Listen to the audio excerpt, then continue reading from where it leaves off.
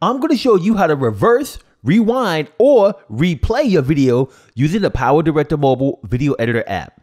This one's going to take you back. I have a man doing some awesome Brazilian fight dance on the main timeline track, and we want to play it, then rewind it, and replay it. In order to do that, I need to have three copies of the same clip on the timeline.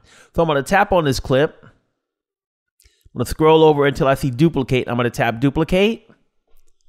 And I'm going to tap duplicate one more time.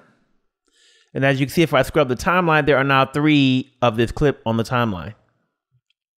Next thing I need to do is make that middle section go in reverse because the first section will play forward, then it will reverse, and then it'll play forward again. So I'm going to tap on the middle section, and then I'm going to go ahead and tap on reverse. Now I'm going to tap on OK. Next thing I want to do is create some fades on these two transitions so that everything plays smoothly. So I'm going to tap on the first transition. And then I'm going to tap on fade. I'll tap on the second transition.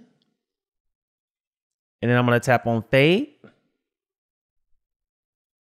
Now I'm going to move my playhead to the beginning or somewhere near the front and I'll play it back.